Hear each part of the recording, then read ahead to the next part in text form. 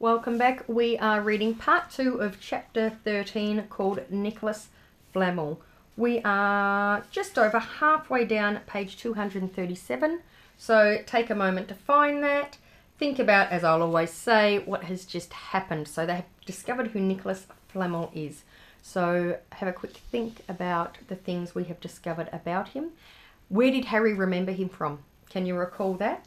And why has Harry just decided he will take on the other team with Snape as referee in the next Quidditch match? And I will begin reading for you. As the match drew nearer, however, Harry became more and more nervous, whatever he told Ron and Hermione. The rest of the team weren't too calm either. The idea of overtaking Slytherin in the House Championship was wonderful. No one had done it in nearly seven years, but would they be allowed to with such a biased referee? Harry didn't know whether he was imagining it or not, but he seemed to keep running into Snape wherever he went. At times, he even wondered whether Snape was following him, trying to catch him on his own. Potions lessons were turning into a sort of a weekly torture. Snape was so horrible to Harry. Could Snape possibly know they'd found out about the Philosopher's Stone? Harry didn't know, see how he could, yet he sometimes had the horrible feeling that Snape could read minds. Harry knew when they wished him good luck outside the changing rooms next afternoon that Ron and Hermione were wondering whether they'd ever see him alive again. This wasn't what you'd call comforting. Ha- Harry hardly heard a word of the woods. Harry hardly heard a word of Wood's pep talk as he pulled on his Quidditch robes and picked up his Nimbus 2000. Ron and Hermione, meanwhile, had found a place in the stands next to Neville, who couldn't understand why they looked so grim and worried, or why they had both brought their wands to the match. Why had they brought their wands to the match? Think back to the last Quidditch match. Little did Harry know that Ron and Hermione had been secretly practicing the leg locker curse. They'd got the idea from Malfoy using it on Neville and were ready to use it on Snape if he showed any sign of wanting to hurt Harry. Now, don't forget, it's locomotor mortis, Hermione muttered as Ron slipped his wand up his sleeve. I know, Ron snapped. Don't nag. Back in the changing room, Wood had taken Harry aside. Don't want to pressure you, Potter, but if we ever need an early capture of the snitch, it's now. Finish the game before Snape can favour Hufflepuff too much. The whole school's out there, said Fred Weasley. Said Fred Weasley, peering out of the door. Even blimey, Dumbledore's come to watch. Harry's heart did a somersault. Dumbledore, he said, dashing to the door to make sure. Fred was right. There was no mistaking that silver beard. Harry could have laughed out loud with relief. He was safe. There was simply no way that Snape would dare to try and hurt him if Dumbledore was watching. Do you think that's so?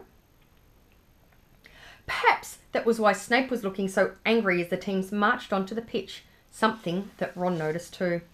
I've never seen Snape look so mean, he told Hermione. Look, they're off. Ouch! Someone had poked Ron in the back of the head. It was Malfoy. Oh, sorry, Weasley. Didn't see you there. Malfoy grinned broadly at Crabbe and Goyle. Wonder how long Potter's going to stay on his broom this time. Anyone want to bet? What about you, Weasley? Ron didn't answer. Snape had just awarded Hufflepuff a penalty because George Weasley had hit a bludger at him. Hermione, who had all of her fingers crossed in her lap, was squinting fixedly at Harry, who was circling the game like a hawk, looking for the snitch. You know how I think they choose people for the Gryffindor team?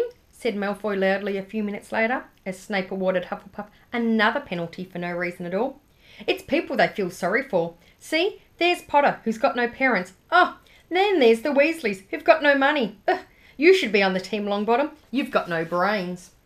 Neville went bright red, but turned in his seat to face Malfoy. I'm worth twelve of you, Malfoy, he stammered. Who told Neville that? Think back and think about why it was so important for Neville to turn around and say that, and how he's feeling right now. Malfoy, Crabbe, and Goyle howled with laughter, but Ron, still not daring to take his eyes from the game, said, You tell him, Neville. Longbottom, if brains were gold, you'd be poorer than Weasley, and that's saying something. Ron's nerves were already stretched to breaking point with anxiety about Harry. I'm warning you, Malfoy, one more word. Ron! said Hermione suddenly. Harry! What? Where? Harry had suddenly gone into a spectacular dive which drew gra- gasps and cheers from the crowd. Hermione stood up, her fingers cr- her fingers in her mouth. Sorry. And as I said, that's why I reread because it doesn't make sense. Hermione stood up, her crossed fingers in her mouth, as Harry streaked towards the ground like a bullet. You're in luck, Weasley. Potter's obviously spotted some money on the ground, said Malfoy. Ron snapped. Before Malfoy knew what was happening, Ron was on top of him, wrestling him to the ground. Neville hesitated, then clambered over the back of his seat to help. Come on, Harry! Hermione screamed, leaping onto her seat to watch as Harry sped straight at Snape. She didn't even notice Malfoy and Ron rolling around under her seat, or the scuffles and yelps coming from the whirl of fists that were Neville, Crabbe, and Goyle. Up in the air, Snape turned on his broomstick just in time to see something scarlet shoot past him, missing him by inches. Next second, Harry had pulled out of the dive, his arm raised in triumph, the snitch clasped in his hand. The stands erupted. It had to be a record. No one could ever remember the snitch being caught so quickly. Ron! Ron! Where are you? The game's over! Harry's won! We've won! Gryffindor in the lead! shrieked Hermione, dancing up and down on her seat and, strug- and hugging Parvati Patil in the row in front. Harry jumped off his broom a foot from the ground. He couldn't believe it. He'd done it. The game was over. It had barely lasted five minutes. As Gryffindors came spilling onto the pitch, he saw Snape land nearby, white faced and tight lipped. Then Harry felt a hand on his shoulder and looked up into Dumbledore's smiling face. Well done, said Dumbledore quietly, so that only Harry could hear. Nice to see you haven't been brooding about that mirror. Been keeping busy? Excellent. Snape spat bitterly onto the ground. Harry left the changing room alone some time later to take his Nimbus 2000 back to the broom shed. He couldn't ever remember feeling happier. He'd really done something to be proud of now. No one could ever say he was just a famous name anymore. The evening air had never smelled so sweet. He walked over the damp grass, reliving the last hour in his head, which was a happy blur. Gryffindors running to lift him onto their shoulders, Ron and Hermione in the distance jumping up and down, Ron cheering through a heavy nosebleed. How did he get the nosebleed? Harry had reached the shed. He leant against the wooden door and looked up at Hogwarts, with its windows glowing red in the setting sun. Gryffindor in the lead. He'd done it. He'd shown Snape. And speaking of Snape, a hooded figure came swiftly down the steps of the castle. Clearly, not wanting to be seen, it walked as fast as possible towards the forbidden forest. Harry's victory faded from his mind as he watched. He recognized the figure's prowling walk. Snape sneaking into the forest while everyone else was at dinner. What's going on? Harry jumped back on his Nimbus 2000 and took off. Gliding silently over the castle, he saw Snape enter the forest at a run. He followed.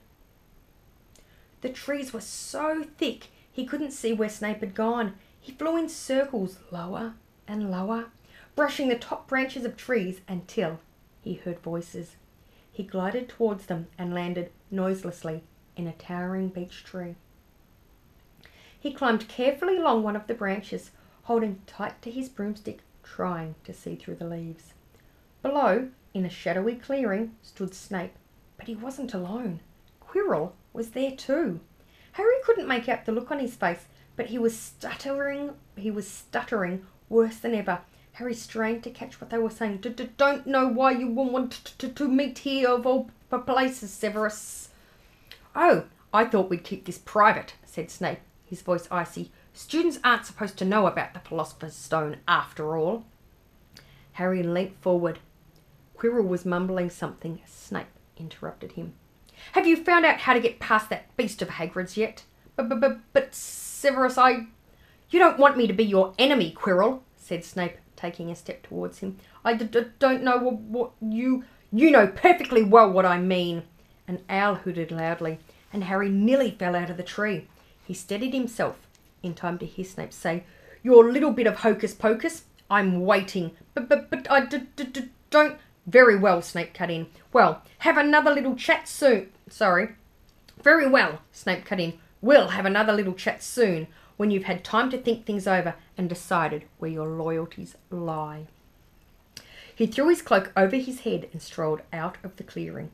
It was almost dark now, but Harry could see Quirrell standing quite as still as though he was petrified.